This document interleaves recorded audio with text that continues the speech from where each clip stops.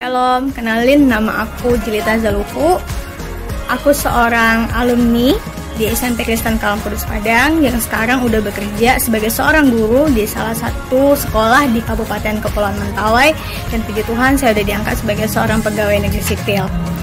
Di sini buat teman-teman yang mau mendaftarkan sekolah di SMP, pilihnya di SMP Kristen Kalam Kudus Padang ya, karena di situ kita dibentuk sebagai uh, siswa yang takut akan Tuhan, memuliakan Tuhan, dan guru-gurunya pun sangat baik dan sangat mendidik kita sebagai siswa yang disiplin dan takut akan Tuhan. Jadi adik-adik jangan ragu lagi buat daftarkan diri di SMP Kristen Kampus Padang ya. Oke, terima kasih.